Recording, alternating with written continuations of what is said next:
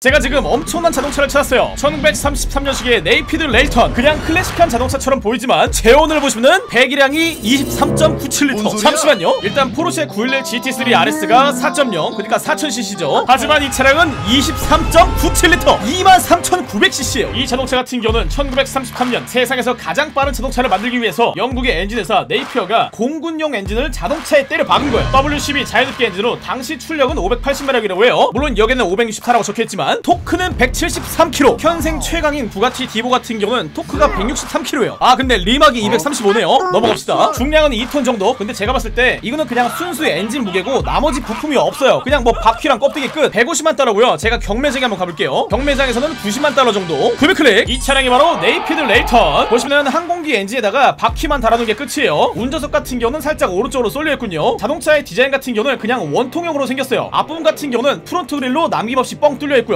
그리고 양옆에는 다소 얇아 보이는 바퀴. 옛날 자동차 같은 경우는 바퀴를 두껍게 만들지 않았어요. 뭔가 되게 마차 같은 느낌이 들죠. 이쪽에 휠 모양도 그렇고. 그리고 옆모습을 보시면요. 그냥 자동차 자체가 그냥 하나의 엔진처럼 보여요. 그리고 이 이음새 부분 상당히 투박하네요. 23,000cc의 엔진을 벨트로 묶어놨네요. 그리고 다소 작아 보이는 앞유리창 여러분들 이게 운전석인데요. 상당히 좁아요. 이 차량이 1933년부터 1937년까지 세계 최고 속 기록을 무려 47번이나 이어갔다고 들었습니다. 언제든 24시간 동안 평균 속도 255km로 달린 적도 있다고 하고요. 이걸 타고서 24시간 동안 250km 달린다고요? 앞유리창 이거밖에 없고요. 그냥 안전장치가 아예 없어요. 당시에는 사람들이 정말 겁이 없던 것 같습니다. 차량의 모든 문 열어볼게요. 모든 기대각. 아 문이 열리지 않아요. 가만있어 봐. 잠시만요. 아 열린다. 후드 지금 후드를 뜯었는데요. 이거 뭐 봐도 모르겠군요. 이게 어쨌거나 엔진인 것 같아요. 아우 정말로 좁아요. 이쪽에 시동 버튼이 있어요. 스타트.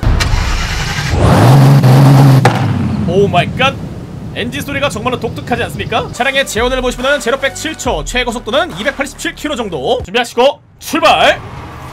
아 처음에 wheel spin 예상하고 있었습니다. 살짝 많이 미끄러지죠? 차가 굉장히 무겁다고 느껴지고 있어요. 속도도 확실히 요즘 나온 차에 비하면 많이 느립니다. 218km 돌파 222km 오 조심해야죠. 아마 핸들링이 안 좋을 거로 예상합니다. 보시면은 많이 미끄러지는 것을 볼 수가 있죠. 오케이. 진짜 위험해요. 도대체 이거를 어떻게 타신 건지. 어 그리고 뒤쪽에 사이드미러 잘 보이네요. 타이어 반갑습니다. 여기서 바로 드리프트 해볼게요. 드리프트가 될지 모르겠지만 드리프트 스타트. 드리프트도 나름 되는 것을 볼 수가 있습니다. 아 이런 젠장. 아니 그리고 핸들이 뭐 이렇게 크죠 이거? 제 캐릭터가 굉장히 작아 보입니다 지금. 바로 개조를 해볼게요. 이거는 지금 이 상태로 타기가 너무 위험합니다. 먼저 구동장치는 사륜으로. 타이어 같은 경우는 드래그용 타이어 골라드릴게요. 앞 타이어 폭 full up. 뒷 타이어 폭 full up. 다음에 휠, 휠 같은 경우는 넘어가고 그 다음에 휠 크기는 좀 키워드릴게요. 뒷바퀴도 마찬가지로. 레이스용 트랜스미션 7단 장착 완료. 동력 full up 레이스용 차동장치 장착. 브레이크 full up 레이스용 스프링 골라드릴게요. 앞쪽 anti-roll bar full up 뒤쪽 anti-roll bar full up 그 다음에 섀시 이런 거 달 필요 없어요. 자체 경량화 full up 에어필터 full up 카브레터 full up 점화장치 full up 캠축 full up 밸브 full up 피스톤 full up 냉각 시스템 full up 플라이휠 full up 자 이제 개조가 끝났습니다. 출력이 500마력에서 700마력으로 900클릭. 그리고 기어비를 조금 바꿔볼게요. 대충 제로백 2.7초에 다가 최고 속도는 263km 제가 바로 드래그 레이스를 한번 해볼게요. 페스티벌 드래그 직선 코스 보시면은 제가 모르는 차들이 엄청 많이 모였어요. 얘네들이 그 뭐지?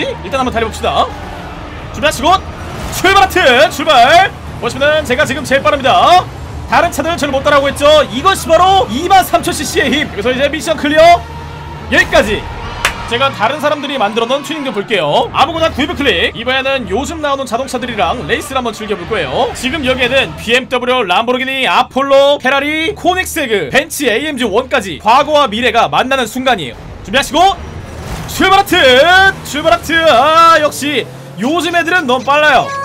저 같은 경우는 지금 1, 2, 3, 4, 5, 6, 7, 8, 9 거의 지금 꼴찌로 달리고 있습니다. mission clear. 여기까지 지금 드래그 튜닝이 되어 있는 상태에서 산을 한번 올라가 볼게요. 자 이쪽으로 출발 full 악셀 출발 full 악셀 올라갈 수 있습니다. 좀만 더 파이팅.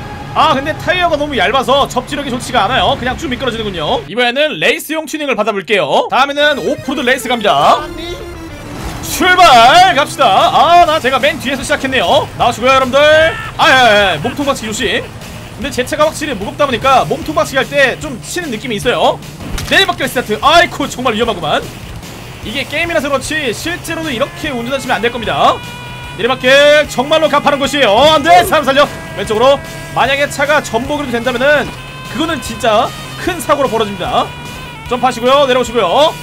아이쿠 아나 정말 지금 제 얼굴 옆으로 돌이 살짝 튀는 것 같은데 괜찮습니다. 이거는 게임이니까. 오른쪽으로 넘어가줘야 돼요. 넘어가줘야 돼요. 넘어가줘야 돼요. 넘어가줘야 돼요. 파이팅! 안돼 이런 젠장 체크백 놓침. 여기서 바로 왼쪽으로 과감하게 달리세요. 겁먹지 말고. 브레이크. 아이고 이거 핸들이 안 들어가는구만. 제가 지금 대충 달리는 것 같은데 2등이네요.